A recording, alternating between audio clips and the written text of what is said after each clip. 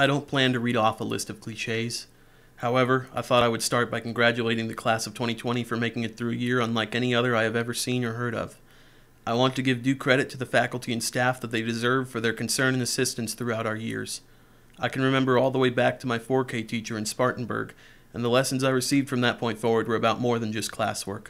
Some of these are no longer with us, but they have shaped our characters and live within us. One of the Beatles, John Lennon, wrote the song Instant Karma, in which he states, We all shine on.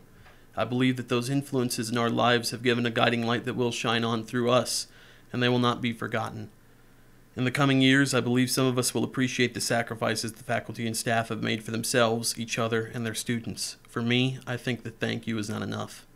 We students in the graduating class all have choices to make moving forward that can impact our outcomes, those around us, or the generations ahead of us. This involves more than just a career or education. For the past few centuries, especially, the human population has increased exponentially, and the world has endured more and more pollution and exploitation. A lot of the magic and stability the former generations knew has been lost forever to the technological age. I think that God, the planet, and some of humanity have been trying to say we're just getting too old for all of this. Maybe it's time we grew up and took responsibility for our own actions and quit our childish divisiveness. I am not a teacher, preacher, lawyer, or the President of the United States. I am only a student, and we students learn from these obscure platforms. What are we learning through time? How to become united and help each other, or how to go against one another? At what point do we realize that enough is enough? School can only do so much. History has proven human nature time and time again, and modern advancements can easily intensify the factors. I would be very careful about the decisions we make in the approaching days.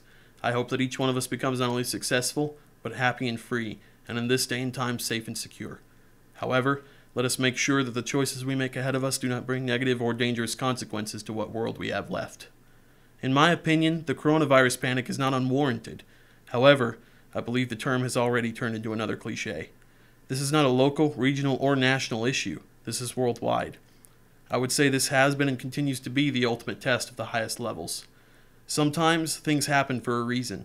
This may prepare us for what comes next. It is very disturbing to me to wonder why this happened and who all was affected. Even now, I believe safety is still a concern for the public. I am not sure whom to trust anymore, especially hearing the news and government and even the people lie to each other. Of all times, now is the most necessary for uniting and helping one another. Is that not what the United States is about? From what I learned, people used to come together and worked on solving a problem. However, we now seem more divided than ever. I plan to keep a positive mindset and hope something good comes of this. Maybe we should all say a prayer and give thanks for things not coming out any worse to this point, as well as for those who were lost during this pandemic. The time period leading up to this point and now, I believe, has been and are truly biblical, and not meant to be taken as a joke. John Lennon wrote one of his last songs, Nobody Told Me, with his wife, Yoko Ono, which featured the lines, Nobody told me there'd be days like these, strange days indeed. How could some of these people have known? I realize we all have different perspectives. We all find comfort in our own ways. Sometimes it's through spending time with family, listening to music, or taking a long walk on a beach and reminiscing.